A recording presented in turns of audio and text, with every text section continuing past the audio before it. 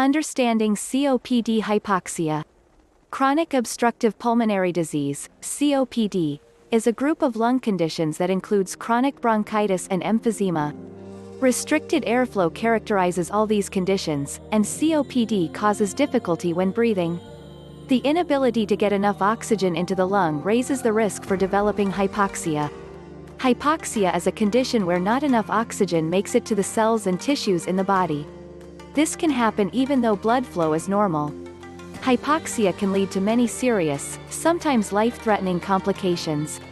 However, if you know what to look for you can manage the condition before it leads to dangerous complications. Symptoms of hypoxia. Oxygen plays an important part in your body's cells and tissues.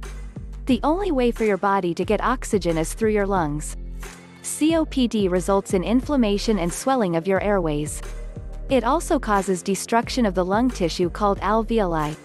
COPD causes a restricted flow of oxygen in your body as well.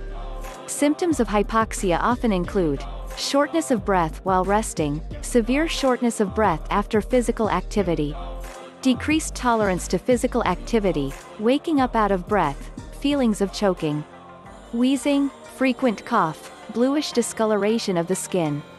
COPD is a chronic condition, so you may experience any of these symptoms on an ongoing basis. If you experience any of these symptoms, it's considered a medical emergency. You should call 911 or your local emergency services, or go to an emergency room, if you experience a change from your baseline or if your symptoms worsen. This is especially important if the symptoms are associated with chest pain, fever, fatigue, or confusion. Complications. COPD hypoxia makes breathing difficult, and it affects more than just the lungs. When you can't breathe in enough oxygen, your blood is deprived of this vital component. Oxygen is necessary for your body to be able to carry out basic functions. For example, hypoxia can have serious effects on your heart and brain health. Hypercapnia. Hypoxia can also lead to a condition called hypercapnia. This occurs when the lungs retain too much carbon dioxide due to breathing difficulties. When you can't breathe in, it's likely you won't be able to breathe out as you should. This may elevate your carbon dioxide levels in your bloodstream, which can be deadly. An imbalance of oxygen and carbon dioxide in your body is more likely as COPD progresses. Other complications. Untreated chronic COPD hypoxia may also lead to depression and other mood disorders, fatigue, headache, confusion, high blood pressure, hypertension, pulmonary hypertension, increased heart rate, heart failure, acute respiratory failure. Secondary polycythemia, which is an abnormal increase in the number of red blood cells, RBCs. Oxygen therapy. Reversing hypoxia involves increasing your oxygen intake. A common method for providing extra oxygen is oxygen therapy. Oxygen therapy is also called supplemental or prescribed oxygen. It involves using a mechanical device that supplies oxygen to your lungs.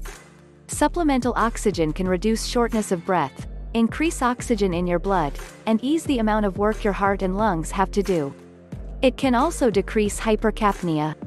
Before prescribing oxygen, your doctor will run tests to measure your blood oxygen levels. Oxygen tanks. Oxygen therapy uses compressed oxygen. The compressed oxygen gas is stored in a portable tank. The tank delivers oxygen to your body through nasal tubes, a face mask, or a tube inserted in your windpipe. A meter on the tank keeps track of the amount of oxygen you breathe in. Oxygen concentrators. Oxygen therapy is also available in concentrator form. An oxygen concentrator takes air from the environment, filters out other gases, and stores oxygen for use. Unlike compressed oxygen, you don't have to use pre-filled oxygen containers. Concentrators are useful for people who need oxygen therapy all the time. But concentrators need electricity to work, so they may not be as versatile as compressed oxygen. Liquid oxygen.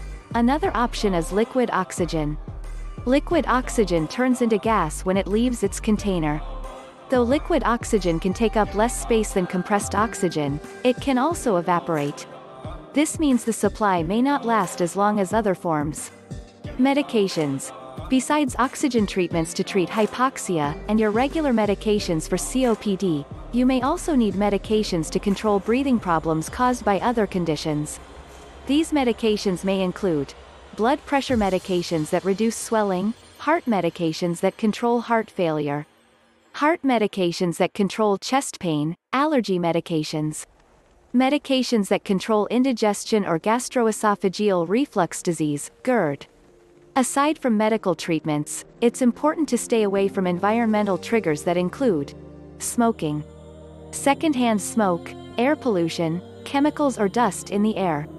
Outlook COPD isn't curable. However, it's important to treat the condition to prevent complications. One possible complication, respiratory failure, is a common cause of COPD death. If you have COPD hypoxia, you'll need lifelong treatment to prevent complications of oxygen deprivation. Treating low oxygen can help you breathe easier and allow you to perform everyday tasks.